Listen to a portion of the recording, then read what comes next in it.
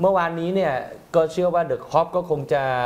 แฮปปี้แฮปปี้อืมก็อาจจะแบบบางคนก็อาจจะแบบลากยาวเลย บางคนครับก็นอนก่อนแล้วก็ตื่นมาดูอย่างพี่เนี่ยใช้ใช้วิธีการนอนก่อนอืมแล้วก็ตื่นมาดูครับนะครับก็เจอกันนิวคาสเซิลยูไนเต็ดคือในขณะที่ทีมที่ตามมาอย่างอาร์เซนอลเนี่ยเขาสะดุดให้เนี่ยครับเมื่อวันเสาร์ลิเวอร์พูลก็มีโจทย์สำคัญว่าถ้าชนะได้ก็จะดีมากอืมอืมแล้วก็ทำได้จริงๆนะครัเมื่บอคืนที่ผ่านมาอาจจะมีหวาดเสียวบ้าง ครึ่งแรกนี่จบที่0ูนย์นะ แล้วก็ลิเวอร์พูลบุกแรกเลย บุกตั้งแต่นาทีแรกเลยอืมได้จุดโทษแต่ยิงไม่เข้าครับโมฮาเหม็ดซาลาห์แต่ว่าเกมก็มาเรียกว่าเรียกว่าทำนบมาพังเอาในช่วงครึ่งหลังอะอืมหมายถึงทั้งสองทีมนะครับเพราะว่าลิเวอร์พูลยิงนำได้ แล้วก็โดนตีเสมอ แล้วก็ทีนี้ประตูก็เกิดขึ้นอุตลุดเลยสุดท้ายลิเวอร์พูลก็ชนะไป 4 ประตูต่อสองหกประตูในครึ่งหลังหกประตูในครึ่งหลังเลยยิงกันนะ ก็ซาร่าห์เนี่ยเขาพอยิงจุดโทษพลาดไปช่วงพักครึ่งเขาเปลี่ยนรองเท้าสตั๊ดเลยนะครับอ่าแล้วก็มีโอกาสได้แก้ตัวครับนะครับ แล้วก็ยิงเข้าไปขณะที่นี่อะไรเนี่ย อะไร สวัสดีวันอังคารครับ นะฮะอันนี้ก็เป็นมีมที่เสียบสปอร์ตทำอยู่ตลอดเวลามาตลอดเอออ่าของขวัญหาได้ที่ห้างคนข้างๆหาซื้อได้ที่ไหน อยากรู้จริงๆไอ้พวกเนี้ยใครเป็นคนคิดที่ว่าต้องมีมีเจ้าเปาผีเนี่ยหนึ่งคนนะ ครับ เออ แล้วคนอื่นๆไม่แน่ใจอืมนะฮะคาคือลมเป็นไง คือซาร่านะท่านี้ก็น่ารักดีเหมือนกันนะ น่ารักน่ารักนะอ่าแล้วก็ซาลาห์เนี่ยมายิงประตูขึ้นนำหนึ่งศูนย์นาทีที่ 49 นะ ดาร์วินนูนเญซจ่ายให้ แต่ว่าหลังจากนั้นอีก 5 นาทีนิวคาสเซิลเนี่ยแทบจะเรียกว่าบุก เผลอๆ นี่ครั้งแรกเลยด้วยซ้ำนะ ได้ประตูตีเสมอหนึ่งหนึ่งอืมนะครับลิเวอร์พูลนี่ชะล่าใจนะผมว่านะ ใช่ใช่เออไปปล่อยให้แอนโทนีกอร์ดอนเขามีจังหวะพลิกได้อะคือ เอ่อนิวคาสเซิลน่ะเพิ่งเปลี่ยนเอาอัลมิรอนลงมาแป๊บเดียวอ่านนะฮะอ่าแล้วก็กอร์ดอนที่เดิมทีเล่นทางขวาเนี่ยโยกมาเล่นทางซ้ายอืมพอโยกมาเล่นทางซ้ายแป๊บเดียวฮะแป๊บเดียวแต่หนีเทรนต์อเล็กซานเดอร์อาร์โนลด์แล้วก็จ่ายให้กับทางอิซักหลุดเข้าไปยิง ก็เป็นความเฉียบขาดของอิซักนะครับครับนะครับ แล้วก็นาที 74 เนี่ยลิเวอร์พูลก็มันหนีเป็น 2-1 จากการยิงของเคอร์ติสโจนส์นะครับ ซึ่งก็ก็ก็เกิดขึ้นหลังจากที่ลิเวอร์พูลเนี่ยปรับเปลี่ยนเปลี่ยนตัวผู้เล่นนาที 64 เนี่ยส่งลงมา คือเปลี่ยนทีเดียว3คนนะเจอร์เก้นคล็อปป์ครับ นะโชต้าคักโปแล้วก็กราเฟนแบร์กอืมแล้วก็มีเรียกว่าเรียกว่าเห็นผลน่ะนะครับโชต้าก็ตวัดจ่ายให้ แล้วก็นาที 78 ก็หนีเป็น 3 ต่อ 1 จากโคดี้คักโปอ่าอ่าโคดี้คักโปนะครับ แล้วก็ 3-1 ก็นึกว่ามันก็น่าจะสบายๆแล้วนะอืมลิเวอร์พูลไปเสียประตูลูกเตะมุมโยนมาแล้วโหม่งเข้าไปง่ายๆเลยสเวนบอตมันครับนาที 81 กลายเป็นเครียดขึ้นมาอีก 3-2 แต่สุดท้ายเนี่ยก็ อ่าอเล็กซิสแม็คอัลลิสเตอร์ส่วนหลอกอีกคนนึงก็ผ่านบอลให้โชต้าหลุดเดี่ยวอืมแล้วก็ไปโดนทางมาร์ตินดูบราฟกาอ่าพุ่งมาแล้วก็เหมือนศอกมันสะกิดนิดเดียวอะครับแล้วเสียหลักล้มลงไปอืมจุดโทษครับคราวนี้ซาลาห์ก็มายิงแก้ตัวอืมทำได้เท่ากับซาลาห์2ประตู1แอสซิสต์นะครับประตู 4-2 ของซาลาห์เนี่ยเจอร์เก้นคล็อปป์ไม่กล้ามองนะครับ จุดโทษอะครับเขาไม่กล้าหันไปดูเขาใช้วิธีแบบหันขึ้นอัฒจันทร์แทนครับ แล้วลุ้นจากจากแฟนบอลเอาอืมเออตอนแรกก็คิดนะพี่กุยว่าว่าจุดโทษเนี่ยซาลาห์เขาจะยิงไหมเออเออพลาดไปแล้วไง ใช่ใช่เออแต่ก็ยิงนะ ยิงยิงตัดยิสิงนใจยิง ก็โอ้ถ้าไม่ยิงเนี่ยแสดงว่าเสียความมั่นใจนะ ถ้าไม่ยิงก็เออ ก็อาจจะแบบไม่ไม่ไม่มั่นใจหรือเปล่าแต่พอเลือกยิงก็ครับโอเค มั่นใจแล้วยิงคราวนี้ยิงมุมเลยอืม ลูกแรกที่เขายิงไม่เข้าคือเหมือนจะยิงตรงตัวอืมยิงอัดก็เอาแรงยิงอัดเอาแรงนะครับแล้วดูบราฟก้าเลือกที่จะไม่พุ่งด้วยอืมใช่อ่าลูกแรกที่เขาเซฟได้เออแต่ว่าลูกที่สองเนี่ยเขาเลือกที่จะพุ่งก็ครับผิดทางเออเลยแต่ผิดทางนะซึ่งดูบราฟก้านี่ก็เมื่อคืนถ้าไม่มีเขานี่อื้อหือประตูอาจจะมากกว่านี้นะ ก็ครับครึ่งแรกอะพี่กุยโอ้18ครั้งอะที่ผู้ยิง18ครั้งที่ได้ยิงโอ้โหสนามยิงก็นะครับเซฟไปสิบครั้งอะจะบอกว่ายิงไม่คมใช่ไหมพี่กุยใช่ลิเวอร์พูลเนี่ยก็ต้องบอกแบบนี้อ่าก็ส่วนหนึ่ง แล้วก็ดูบาฟกาเองก็ยืนตำแหน่งดีปฏิกิริยาดีครับบางลูกมันยากอะลูกแบบยิงแหวกฝูงคนมามันยังใช้เท้าเตะออกไปได้อะไรเงี้ยก็ก็ถือว่าป้องกันได้ดี แต่ว่าลิเวอร์พูลเองก็ต้องโทษตัวเองว่าครับทำให้แบบความเครียดมันเกิดขึ้นอืมก็เป็นเกมที่ไม่ค่อยดีเท่าไหร่สำหรับดาวินนูนเยสซึ่งครับโอ้โห โอกาสเยอะนะเมื่อคืนโอนะกาสเยอะแล้วก็เออมีจังหวะหลุดครับแบบหลุดก็ไปดวลกับบูบาฟก้าก็ยิงเขาทั้งเขาน่าจะทำได้ดีกว่านี้อืมเออ สี่ถึงห้าสามถึงสี่ครั้งนะโอ้ต้องที่ผมเห็นเนี่ยคืออย่างน้อยก็ต้องมีสักประตูอะใช่โอกาสของเขาอะนะก็ก็น่าเห็นใจเขานั่งจริงๆแล้วเนี่ยนะคือบางทีเนี่ยเขาเน้นเกินไปอืมนะฮะลูกที่เขาได้โอกาสโหม่งก็สะบัดเยอะไปคือต้องการให้มันเข้ามุมจริงๆใช่นะใช่เออถ้าผมนั่นก็ใช่ ก็แฟนบอลก็เอาใจช่วยคือ เพื่อนพี่เขาเขาเพื่อนพี่เนี่ยแฟนบอลลิเวอร์พูลเขาอยู่เขาอยู่อเมริกาครับแต่ว่าเกมเนี้ย เขามีโอกาสได้บินไปดูอืมเป็นครับครั้งแรกที่เขาไปแอนฟิลด์เลยอืมเขาบอกว่าเขานั่งท่ามกลางแฟนบอลลิเวอร์พูลเนี่ยคือแฟนบอลเนี่ยก็ยังส่งเสียงตะโกนเรียกดาร์วินนะอืมแม้ว่าจะพลาดจะพลาดอย่างเงี้ยก็ทุกครั้งที่พลาดก็แบบจะอาจจะเสียดายแต่ว่าส่งเสียงเชียร์ให้กำลังใจอยู่ครับอืมนะครับ เพราะว่าดาร์วินเขาก็ทุ่มเทอะครับอืมแล้วความทุ่มเทนี่ในสนามมันก็เห็นแล้วก็อาจจะแบบ ด่าไม่ลงอืมด่าไม่ลงอะไรเงี้ยคือตอนที่เขาโดนเปลี่ยนตัวออกเนี่ยคือเขาหน้าเสียโอ้นะสีหน้าหน้าอืมสีหน้าแบบหน้าคือเขาอยากอยากอยู่ต่ออะพูดง่ายแล้วเขารู้ว่าเกิดอะไรขึ้นไงๆครับหมายถึงว่าเขารู้ว่าเขาพลาดหลายลูกอะไรเงี้ยครับอืมแล้วเจอร์เก้นคล็อปป์เองเดี๋ยวหนึ่งก็ไม่มีทางเลือกไงครับในเมื่อเกมยังเสมออยู่อย่างเงี้ยใช่เขาก็ต้องส่งสำรองที่มีทีเด็ดอย่างดิโอโก้โชต้าแล้วก็คักโปลงมาใช่เพราะตอนนั้นนาทีให้เอ่อ64เนี่ยเสมอสกอร์ยังเสมออยู่หนึ่งหนึ่งครับใช่คือ คือคล็อปป์ก็คงอยากยังอยากจะให้โอกาสเลยแต่ว่ามันสถานการณ์มันจำเป็นต้องเปลี่ยนครับ ทีนี้การเปลี่ยนตัวของครอปก็คือตอนนี้ขุมกำลังลิเวอร์พูลมันแสดงให้เห็นว่าขุมกำลังมันใหญ่ ใช่ไหมเปลี่ยนตัวสำรองลงไปเนี่ยมันก็มีผลอืมแล้วก็พี่ว่าอีกส่วนหนึ่งก็คือนิวเซนก็โดนบทจนจนหมดแรงอะนะมันหมดจริงๆนะการฮะเราถ้าใครเตะบอลเนี่ยคงจะเข้าใจดีนะว่าการ เล่นเกมรับไม่ใช่ว่าไม่เหนื่อยนะ เล่นเกมรับโดนบุกใส่บุกใส่ตลอดนี่มันเหนื่อยนะ ใช่ มันเหนื่อยเหนื่อยครับนะครับจริงเมื่อวานสตาร์ทมาลิเวอร์พูลก็เปิด โอ้ยตาหน้าลิใสเวอร์พูลด้วยหูบทตั้งแต่นาทีแรกเลยอะมาเป็นพายุเลยนะ ใช่เออพยายามจะยิงประตูแบบคลายความกดดันให้ได้ พี่ยังดูโอ้โหแล้วแรงมันจะไม่หมดปรากฏไม่หมดจริง เล่นได้อย่างนี้ทั้งเกมเลยนะทั้งเกม เมื่อคืนนี้แล้วนะครับ แล้วลิเวอร์พูลเนี่ยเจอใครในแอนฟิลด์เนี่ยฮะโอกาสยิงประตูเนี่ยเยอะกว่าคู่แข่งหลายเท่านะ อืมครับตอนนี้มันกลายเป็นเรื่องปกติไปแล้วอืมนะครับใช่ ตอนที่เจอกับแมนยูเนี่ยนะฮะแล้วก็แมนยูไปยันเสมอศูนย์ต่อศูนย์ได้เนี่ย หลายคนมองว่าโอ้โหสถิติมันขี้เหร่เหลือเกินอืมนะลิเวอร์พูลยิงมากกว่าแมนยูน่ะหลายเท่าอืมอืมแต่หลังจากนั้นเนี่ยนะฮะใครเยือนแอนฟิลด์เจออย่างนี้ทุกรายเออนะฮะทั้งฟุตบอลพรีเมียร์ลีกแล้วก็ฟุตบอลถ้วยนะ อย่างเวสต์แฮมที่โดนไปเนี่ยก็มีโอกาสในการยิงประตูน้อยกว่าลิเวอร์พูลหลายเท่าเหมือนกันอืมคือตอนเนี้ยกลายเป็นว่าลิเวอร์พูลนะมีโอกาสยิงประตูมากกว่าคู่แข่งเป็นว่าเล่นเนี่ยนะฮะมันกลายเป็นเรื่องปกติไปแล้วอ่าเว้นแต่ว่าเจอกับทีมใหญ่ด้วยกันเองใช่ครับ แล้วคนนี้ก็เล่นดีคนที่โจนส์ตอนนี้ก็ก็ไปไปมาๆเล่นดีเฉยเลยกลายเป็นกลายเป็นลูกรักของแฟนบอลละ ชอบ เพราะตอนนี้ในในแดนกลางเนี่ยน่าจะมีเอนโดกับเคอร์ติสโจนส์เนี่ยครับ ที่ผลงานคงเส้นคงวาที่สุดอืมแล้วโจนส์ตอนเนี้ยเขาบอกว่าร่างทองอืมครับ แล้วลิเวอร์พูลเนี่ยในในช่วงเนี้ยร่างทองเนี่ยเป็นร่างทองที่แบบเป็นคนที่ไม่เคยนึกถึงเนี่ยครับ เพราะว่าอีกคนหนึ่งคือโจโกเมซครับอืมก็ร่างทองเหมือนกัน ใช้ได้นะ โอ้เมื่อคืนนี้โจโกเมซนี่ครับกลายเป็บนว่า ตอนเนี้ยบอกเลยว่าเอาแบ็กซ้ายมาวางเรียงกันเนี่ยอืมแบ็กซ้ายอาชีพ 2 คนเนี่ยโรเบิร์ตสันกับซิมิการ์ดเนี่ยอาจจะมองหน้ากันเลิ่กลั่กแล้วนะครับเพราะโจโกเมซตอนนี้คือฟอร์มด้วยฟอร์มนี่เขายึดตัวจริงได้เลยนะครับ ใช่ไหมเออ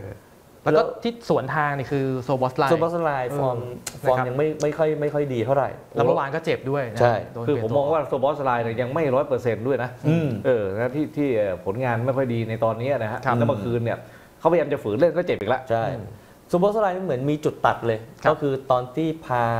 ทีมชาติฮังการีเข้ารอบสุดท้ายยูโรอะอืมหลังจากนั้นนี่แหละ เหมือนฟอร์มเริ่มเริ่ม drop ลงไปครับโซโบนะแต่ว่าโอเคแหละ ลิเวอร์พูลก็เล่นกันเป็นทีมแล้วทำผลงานกันได้ดีครับโอ้แต่โจนส์นี่เขามีลูกแบบกล้าแหวกกล้าเลี้ยงเข้าไป จริง ๆ ยังมีเอลเลียตอีกคนนึงอ่าเมื่อวานคือไม่ลงนะเมื่อคืนไม่ได้ใช้เอลเลียตอ่าอเล็กซิสแม็คอัลลิสเตอร์หายเจ็บกลับมาครับครับก็ถือว่าลิเวอร์พูลก็มีภาพที่ดีๆนะในช่วงที่เดี๋ยวซาลาห์ไม่เดี๋ยวอะฮะอืมซาลาห์กับเอนโดครับครับจบเกมนี้ก็อืมไปรับใช้ชาติแล้วใช่นะฮะคือซาลาห์เนี่ยก็จะไปรับใช้ชาติอียิปต์นะครับในฟุตบอลแอฟริกันคัพออฟเนชั่นนะฮะอืม ในขณะที่เอนโดเนี่ยก็ติดทีมชาติญี่ปุ่นนะครับไปครับเล่นในศึกเอเชียนคัพใช่นะครับซึ่งทั้งญี่ปุ่นแล้วก็อียิปต์เนี่ยเป็นอืมรองแชมป์เก่าด้วยกันทั้งคู่ด้วยอืมนะครับแต่ว่าคนละรายการนะใช่โอกาสตกรอบแรกก็มีมีน้อยอะน้อยยอะมากเออแทบจะเรียกว่าปิดประตูเออตกรอบแรกเลยนะครับอะทีนี้ใครว่ายังไงบ้างเจอร์เก้นคล็อปป์เนี่ยเขาบอกว่าฝูฟอร์มดีจริงๆนะเป็นเกมที่เยี่ยมแล้วเรา pressing กันหนักเออครั บบอสไม่ต้องพูดเนี่ยก็รู้เลยครับมัน press หนักจริงดูแล้วยังโอ้โหเห็นใจนิวคาสเซิลเลยเจอแบบนี้อืมไม่ได้ตั้งเกมเลยอะใช่ แล้วก็เขาเขาก็บอกว่าเนี่ยแหละเป็นเหตุผลว่าทำไมเราถึงสร้างโอกาสได้มากมายนะเป็นเกมที่เยี่ยมแล้วผมชอบมากๆเลยฟอร์มแบบนี้ ชอบบรรยากาศในสนามแบบนี้ครับนะครับสิ่งที่สโมสรแห่งนี้สร้างขึ้นมาทั้งในและนอกสนามเป็นอะไรที่สุดยอดมากอืมนะครับแล้วก็ลุ้นอาการบาดเจ็บของดอมอืมนะโซโบสไลครับ hamstring ก็หวังว่าจะไม่เจ็บมากนักนะฮะอืมอืมก็การเจอกับนิวคาสเซิลเนี่ยนะลิเวอร์พูลนิวคาสเซิลเนี่ย ไม่มีศูนย์ศูนย์คือศูนย์ศูนย์ครั้งล่าสุดปี 2020อ่าอาจจะไม่นานใช่ไหมครับ แต่นั่นแหละเสมอศูนย์ศูนย์ครั้งนั้นอะคือครั้งแรก อ่า ไม่ใช่ครั้งแรก คือครั้งเดียวในรอบ 50 ปีนะครับที่คู่เนี้ยเสมอศูนย์ศูนย์นะครับอืมปกติจะแบบมีประตูเกิดขึ้นตลอดอะไรเงี้ยเนี่ยผลเสมอเมื่อ 3-4 ปีที่แล้วเนี่ย เป็นครั้งเดียวในรอบ 50 ปีอะนะ70-80เกมอะก็ปกตินิวคาสเซิลก็บอลสไตล์ก็ก็ก็ไม่ได้รับนั่นคือเออเวลาเจอลิเวอร์พูลก็มักก็จะสนุกนะเสียประตูก็สนุกสนุกนะโอ้ยยิงกันเยอะ คู่นี้จะมีดราม่าตลอดใช่เวลาเจอกันแล้วเมื่อคืนก็มีเรื่องของประเด็นกรรมการ กรรมการเออก็นะฮะแอนโทนีเทเลอร์นะเทเลอร์ก็จะโดนโดนวิจารณ์อีกปล่อยเกมเยอะไปหน่อยเอนะอปล่อยหลายๆช็อตนะครับเลยว่าจังหวะโชลินตันเออออะไรเงี้ยใช่แฟนลิเวอร์พูลก็จะหงุดหงิดนิดนึงอืมนะแต่โอเคก็ดีที่ชนะแหละครับนะทีเนี้ยคนที่งานเข้าจริงๆเนี่ยต้องบอกว่าเกือบงานเข้าคือคนนี้อืมเจนครอปแกดีใจดีใจชูไม้ชูมือตีแล้วปุ๊บแหวนแต่งงานหล่น คงจะเป็นจังหวะที่ เอ่อเขาเรียกว่าปั๊มใช่ไหมเออ Fish เอ่อปั๊ม Fish เรียก pump พลังเอออันนี้ไม่รู้ไปหล่นยังไงแหวนแต่งงานแหวนมันจะหลุดง่ายๆเหรอต่อ หรือว่าเขาอาจจะถือขึ้นถือออกมาแล้วมันมันอาจจะหลวมๆหรือเปล่าเออหรือว่าหลุดคือแล้วแกเวลาแกสะใจแกชูกำปั้นแกชกอ่าแต่คือถ้าดูดูแล้วในระหว่าง 90 นาทีน่ะแกน่าจะสะใจเยอะไปหน่อย จนแหวนมันค่อยๆ หลุดออกมาเออแต่เนี่ยมันมันหล่นหล่นในในช่วงสนามไหมตรงนี้แหละ เพราะว่าจากภาพคลิปอะครับเขาเนี่ยเขาตบมือแล้วเขาเหมือนเขา สังเกตมือตัวเองอะเฮ้ยโอ้ไม่มีแหวนทีนี้เขาก็มองหา ดีนะตากล้องไปเจอ เนี่ยตาเนี่ยภาพภาพล่างซ้ายเนี่ยปัตาญกล้หาองยากด้วยนะถ้าหากว่ามันลงตรงดงหญ้าตรงนี้เนี่ยยังดีที่หาเจอนะครับใช่ไม่งั้นก็คืองานเข้าเลยทีเดียวใช่ขนาดเราเตะบอลแว่นหล่นนะแว่นใหญ่กว่าแหวนนั่งเยอะ ยังหายากเลย แหวนนี่โอ้โหยังดีว่าหาเจอคล็อปป์ก็โล่งใจครับ เพราะก็ว่าเมื่อวานแกก็มีหลายอารมณ์นะ โอ้โอ้โห อารมณ์มันเกรี้ยวแบบกราดเหมือนกันนะเมื่อคืนเนี่ย ก็เออ คล็อปป์เขา passion สูงอยู่แล้ว เป็นใช่กุนซือที่โอเคนะครับ passion สูงแล้วทำให้นักเตะลิเวอร์พูลสู้ไปด้วย อืมครอปบอกว่านี่ไม่ใช่ครั้งแรกนะ ครับ โอ้โหครอปคุณใช้ชีวิตเสี่ยงจริงนะเนี่ยทำแหวนแต่งงานหายไม่ใช่ครั้งแรกเออผมเคยทำหล่นหายในทะเลมาแล้วครั้งหนึ่งอืมโอ้โหหายในทะเล หายในทะเล แล้วต้องเรียกนักดำน้ำมืออาชีพมาช่วยอะโอ้โหโอ้หายในทะเลอะแสดงว่าแหวนเนี่ยคือสำคัญต่อเขามากนะ ถึงขนาดที่ว่าให้เรียกน้ำอะนักประดาน้ำเนี่ยมามางมหายแล้วนะอยู่ที่ว่าใครยืนคุมอยู่ครอปอาจจะไม่อยากหาหรอกแต่ว่าเอาพูดตรงๆนะบางคนมือถือแล้วตกน้ำทะเลเนี่ยคือเขาไม่งมต่อนะฮะมันไม่ไหวอะถูกไหมใช่คือเขายอมซื้อใหม่เลยนี่ขนาดอ่าแหวนเล็กๆเนี่ยครับครับลงไปใต้ทะเลเนี่ยโอ้ยมันเขายังช่างนักประดาน้ำมันงมได้เนี่ยอืมไม่ธรรมดาโอ้จริงนะนี่เออแทบจะเรียกว่า น้องๆ งมเข็มในมหาสมุทรอะครัปบระมาณนั้นน่ะอะส่วนซาร่านะครับครับ ก็ยิงไป 14 ประตูในลีกแล้วนะ เท่ากับเออร์ลิงฮาลันอืมนะครับโอ้โหแล้วก็ผลงานรุ่นกันนี้สุดยอดยอดเยี่ยมนะครับเอ่อครอบเอ่อซาร่าก็บอกว่าเป็นผลการเป็นผลการแข่งขันที่ดีมากนะ เกมนั้นตึงเครียดมาก แล้วตอนนี้เราก็นำเป็นจ่าฝูง อยากจะรักษาอันดับนี้ต่อไปเรื่อยๆนะเราพลาดโอกาสไปหลายครั้ง เราผมเองก็พลาดจุดโทษ แต่ว่า ผมรู้ตัวว่าผมผมต้องรีบยกระดับการเล่นของทีมขึ้นมาทันที แล้วก็สร้างความแตกต่างให้ได้เนี่ยความพิเศษของซาร่านะครับครับนาที 90 เขายังวิ่งสปรินต์แบบเจ้าแฮตทริกนะอู้เป็นคนที่สร้างความแตกต่างให้กับเกมได้เยอะนะฮะเออแล้วไม่ว่าจะเป็นการยิงหรือการจ่ายลูกนั้นที่เขาจ่ายโชต้าสอดขึ้นมาใส่ก้อยคานอะใช่ให้กับเอ่อเกอร์ติสโจนยิงนะฮะครับรวมไปถึงอ่าเอ่อจังหวะที่เอ่อเขาก็ใช้ก้อยใช้นะก้อยให้กับให้ทักโปยิงเนี่ยทักโปโอ้โหใช่ไม่ธรรมดา อืมนาที90 ยังฟิตอยู่เลยอะครับโอ้โหแบบแกก็คงอยากทิ้งทัวร์นะพี่กุ้ยเพราะเอว่าอเดี๋ยวจะใช่ไปแอฟริกันเนชั่นคัพใช่ใช่นะเออก็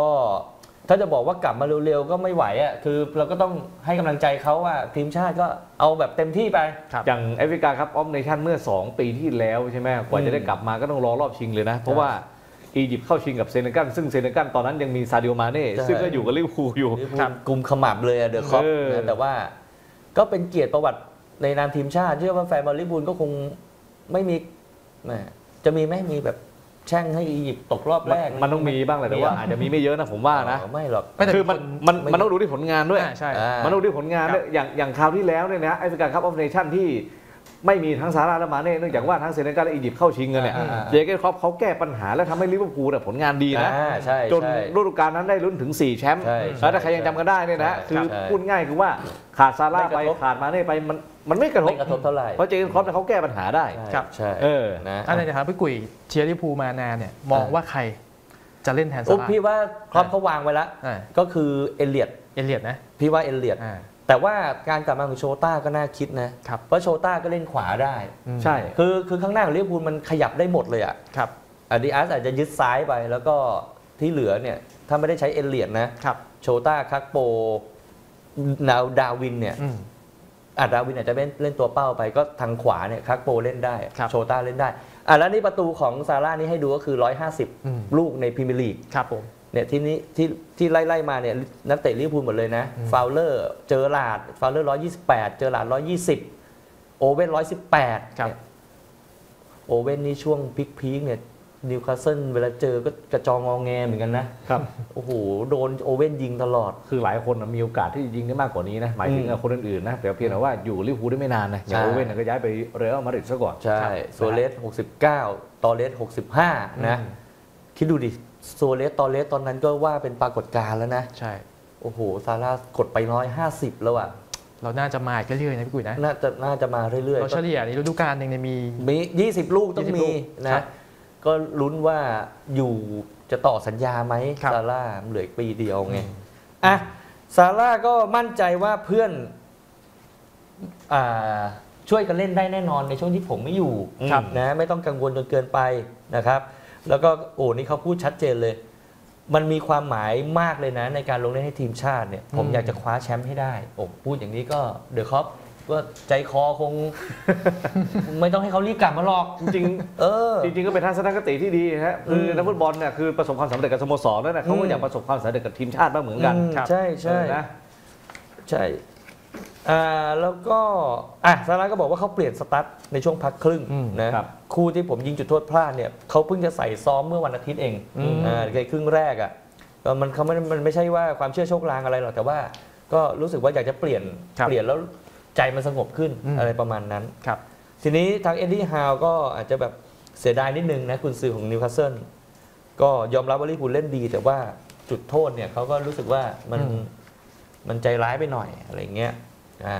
มองไงพี่กุยก็มันโดนแหละสะกิดอือใช่ไหมเอ่อโดนแหละนะจุดโทษน่าจะหมายถึงลูกที่สองอะนะใช่ที่ครับแบบที่โชต้าอืมมันเหมือนศอกของดูบราฟก้าไปโดน คือมันแล้วเสียหลักทำกให้โอกาสในการหลุดเข้าไปยิงของโชต้ามันเสียไปด้วยไงอืมคือลูกนั้นถามว่ามันควรเป็นจุดโทษไหมก็ควรเป็นนั่นแหละเออครับเออแต่แต่ลักษณะของโชต้าเขาเหมือนกว่าจะล้มอะอืมมัน delay นิดนึงมัน delay นิดนึงเออแล้วก็อ่าอดีตนักฟุตบอลอ่าหลายคนเขาก็วิจารณ์ว่าอืมลูกนี้มันเหมือนไม่มัน กึ่งกึ่งจะดีดอ่ากึ่งจะทิ้งตัวล้มอะไรเงี้ยอืมอย่างเชียร์เลอร์อย่าง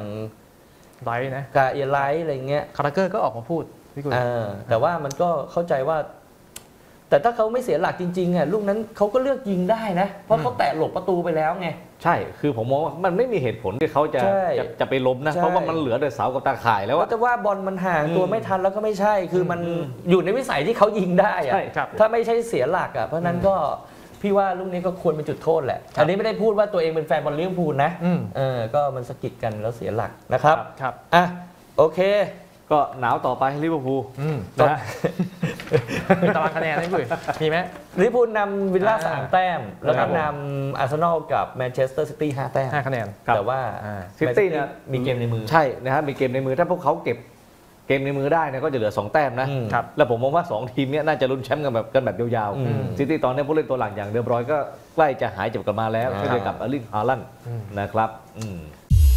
พร้อมเสิร์ฟถึงหน้าจอทุกวันกับรายการสยามกีฬาเดลี่พบกันทุกวันจันทร์ถึงศุกร์เวลา 12 นาฬิกาเป็นต้นไป ติดตามได้ทาง YouTube Facebook สยามสปอร์ตและ YouTube สยามกีฬา